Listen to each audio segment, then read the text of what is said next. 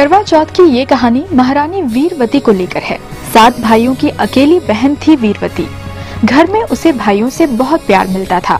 उसने पहली बार करवा चौथ का व्रत अपने मायके यानी पिता के घर में रखा। सुबह से बहन को भूखा देख भाई दुखी हो गए। उन्होंने पीपल के पेड़ में एक छलनी की ओट से ऐसा भ्रम बनाया, जिसे लगता था कि चंद्रमा उदय हो रहा है। वीरवती ने उसे चंद्रमा समझा। उसने व्रत खोल लिया। जैसे ही खाने का पहला कौर मुँह में रखा, उसे नौकर से संदेश मिला कि पति की मौत हो गई है। वीरवती रात भर रोती रही। तभी वहाँ से रानी इंद्राणी निकल रही थी। उनसे उसका दुख देखा नहीं गया। वीरवती ने उनके पैर पकड़ लिए। तब इंद्राणी ने बताया कि तूने बिना चंद्र दर्शन के करवा चौथ का व्रत तोड़ दिया। इसीलिए ये कष्ट मिला। अब तू वर्ष भर की चौथ का व्रत नियम पूर्वक करना तो तेरा पति जीवित हो जाएगा।